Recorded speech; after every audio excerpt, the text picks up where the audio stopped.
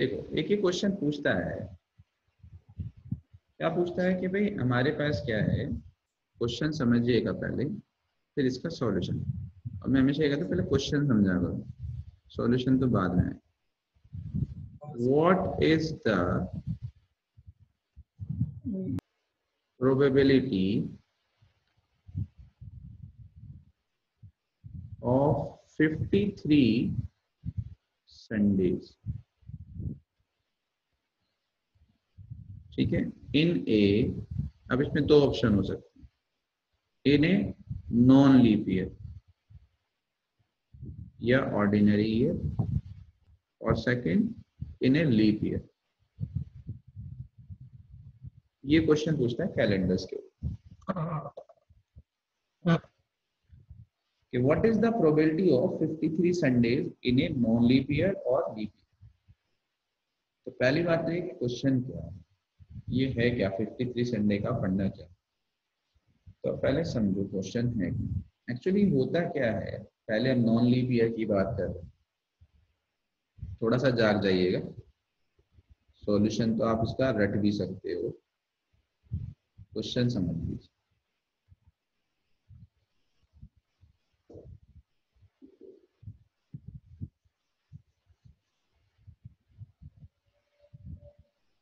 हमारे पास क्या है?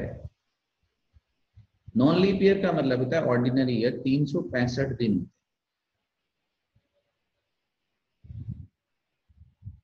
अगर तीन सौ पैंसठ दिन को हफ्तों में डिवाइड करो वीक्स में तो इसको सेवन से आप डिवाइड करोगे।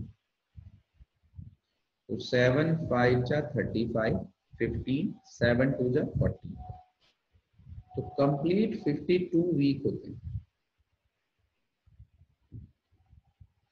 और एक दिन एक्स्ट्रा होता है।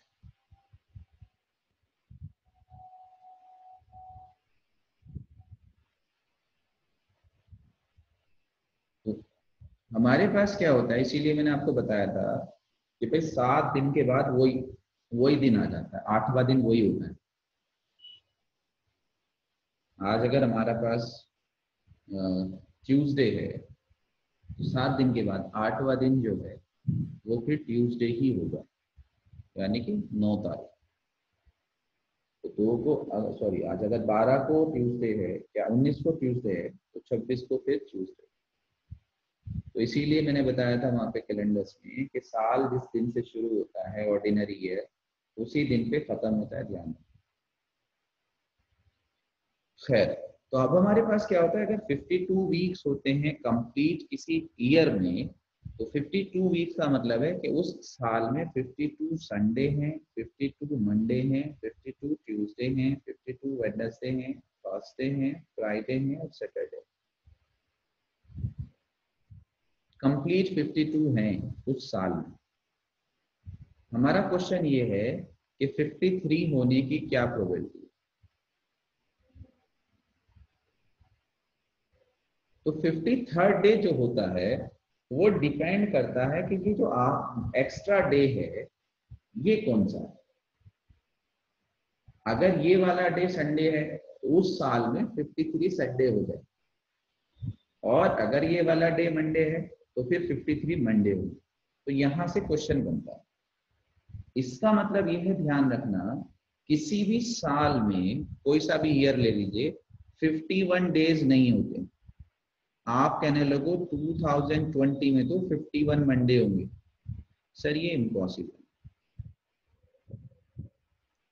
या आप ये कहने लगो कि सर, इस साल 54 संडे होंगे।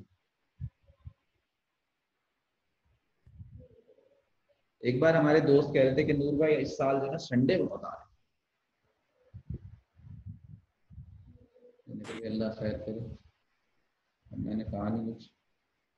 एक दिन के अलावा तो कुछ ज़्यादा एक्स्ट्रा हो नहीं सकता। सारे ही दिन इक्वल है। तो क्वेश्चन समझ में आया या नहीं आया? कि भाई आपके पास कोई भी साल होता है, उसमें नॉर्मली 52 वीक डेज़ होते हैं। तो कोई पर्टिकुलर डे 53 हो सकता है तो उसकी प्रोबेबिलिटी क्या?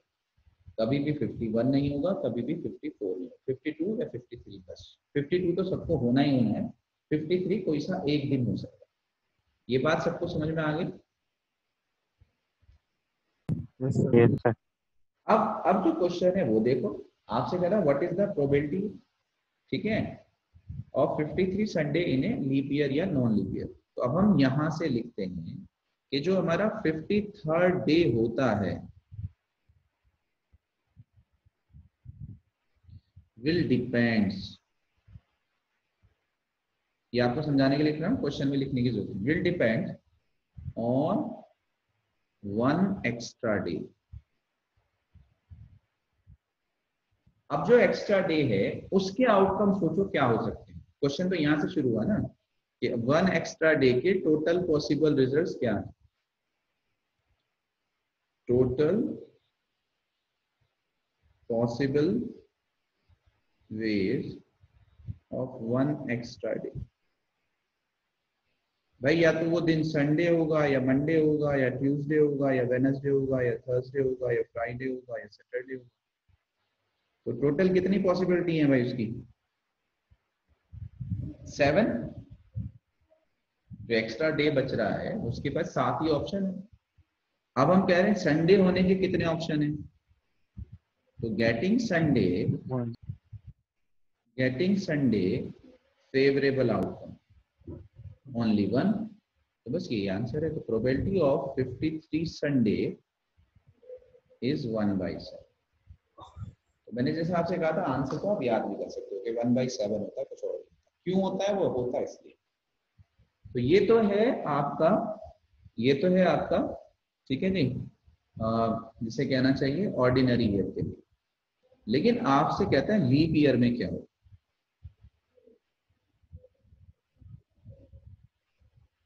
तो इन ए लीप ईयर जो डेज़ होते हैं, वो 366 होते हैं। पहले वाले में 365 थे। तो इसमें होगा क्या? इसमें 52 वीक्स और दो दिन एक्स्ट्रा होंगे अब अगर टू डेज़ एक्स्ट्रा होंगे तो इन टू डेज़ का पॉसिबल रिजल्ट्स क्या है?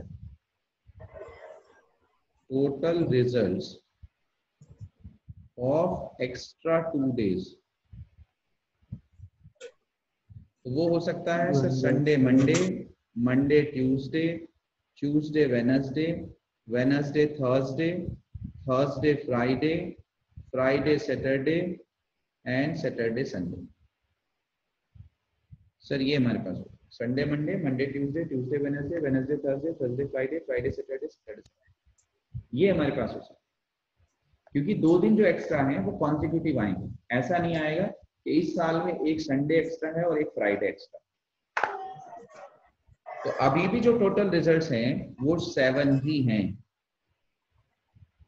लेकिन अब आप सोचो संडे कब आ रहा है? तो संडे अब दो पेयर में आ सकता है। संडे मंडे है तो भी संडे आ रहा है। और सैटरडे संडे है, तब भी संडे आ रहा है। तो probability of 53 Sunday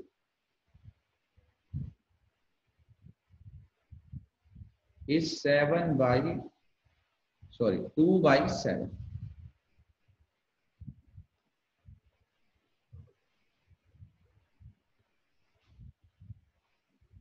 favorable outcome of sunday is 2 the probability of 53 sundays 2 by 7 तो मुझे बताइए ये चीज़ समझ में आई या नहीं yes sir Yes,